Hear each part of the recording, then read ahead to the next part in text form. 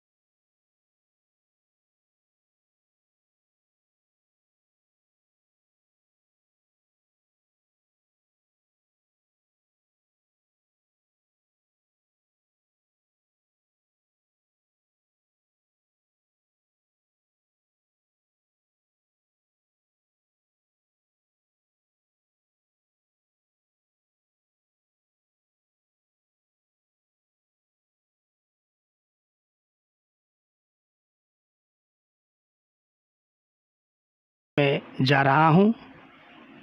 ये है Howrah train station. यहाँ से ट्रेन पकड़ करके अपना घर लौट रहा हूँ। ट्रेन में जाते जाते आप लोगों को कुछ व्यू आप लोगों को मैं दिखाऊँगा। तो आप लोग साथ बने रहिए। Thank you